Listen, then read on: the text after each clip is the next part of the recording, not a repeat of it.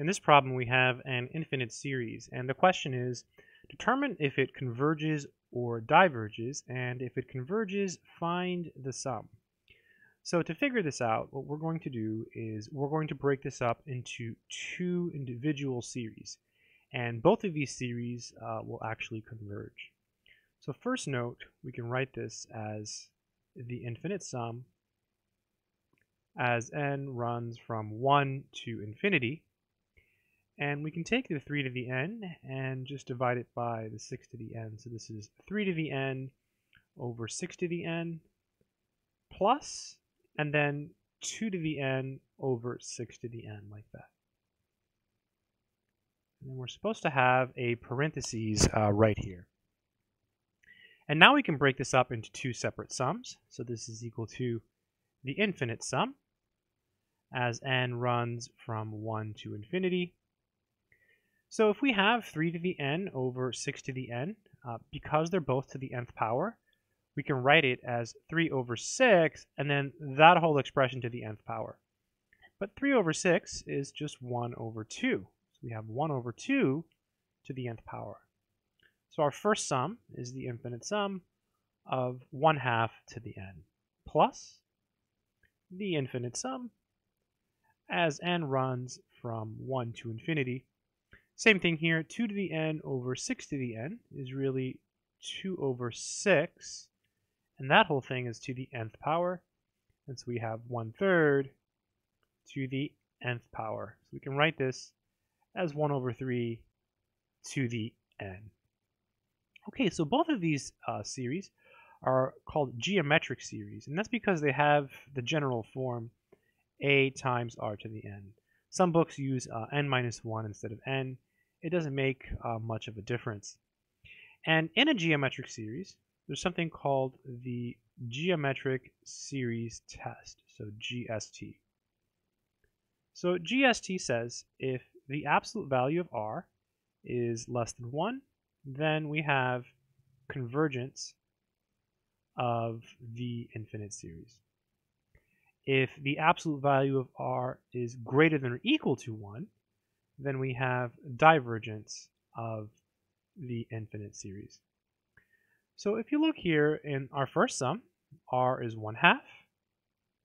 And so the absolute value of r is simply the absolute value of 1 half, which is just 1 half, and that's less than 1. So our first series converges by the geometric series test. So this one here will converge by GST because the absolute value of 1 half is 1 half, which is less than 1. We can do the same thing here with this one. r is 1 third. And so the absolute value of r is equal to 1 third, which is less than 1. So it also converges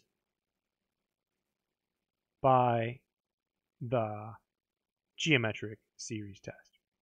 So this one also converges. So because they both converge, the sum converges. Therefore, the original series also converges. So thus, the sum of the series of the series converges, which is our original, right? If you add these up, you get the original thing.